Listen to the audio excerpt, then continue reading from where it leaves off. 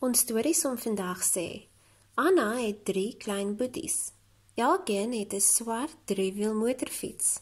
Hoeveel wiele het hulle altesaam? So kom ons kyk na die belangrike inligting. Hoeveel boeties het Anna? 3. So ons kan vir 3 skryf. Elkeen het 'n swart driewiel motorfiets. Nou kom ons dink, hoeveel wiele het 'n driewiel motorfiets? Dit het 3 wiele. So 3.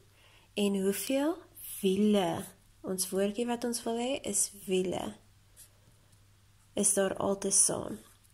Nou wanneer jy altesaam hoor, dan dink 'n mens dadelik jy wil goed saam sit. En dan wil mense sommer sê 3 + 3.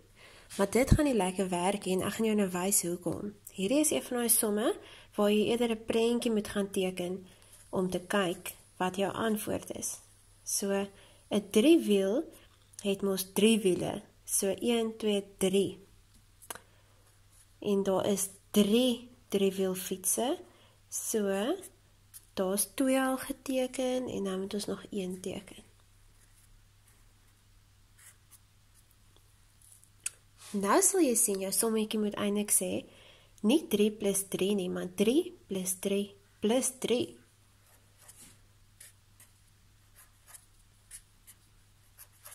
So 3 wiele vir daai fiets, 3 wiele vir daai fiets en 3 wiele vir daai fiets.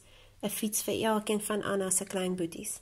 So nou kan jy net verder gaan um tel um die wiele tel en jou antwoord skryf en onthou om jou woordjie by jou antwoord te skryf. Anders as jy vergeet en ons skryf toets, dan gaan jy dalk punte verloor omdat jy nie die woord bygeskryf het nie.